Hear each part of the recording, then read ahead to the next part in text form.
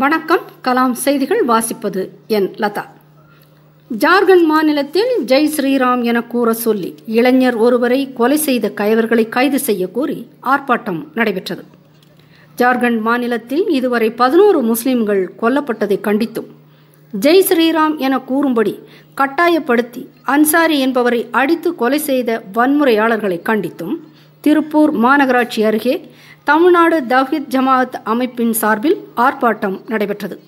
மேலும் முஸ்லிம்களுக்கு எதிராக தாக்குதல் நடத்தி வரும் கயவர்களை கைது செய்ய கோரி ஆர்ப்பாட்டத்தில் கோஷங்கள் எழுப்பப்பட்டது. கலாம் செய்திகளுக்காக திருப்பூரிலிருந்து மயில்மணி.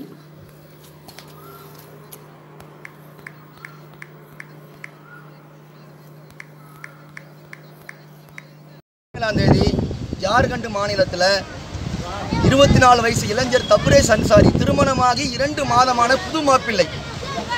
இவரை ஒரு சில சங் பரிவார கும்பல்கள் கம்பத்தில் கட்டி வைத்து இரவு முழுக்க கிட்டத்தட்ட ஏழு மணி நேரம் ஜெய் ஸ்ரீராம் சொல்லு ஜெய் ஸ்ரீராம் சொல்லு என்று மதத்தின் பெயரால் அந்த தப்ரேஸ் அன்சாரியை அடித்தே கொண்டிருக்கின்றார்கள்.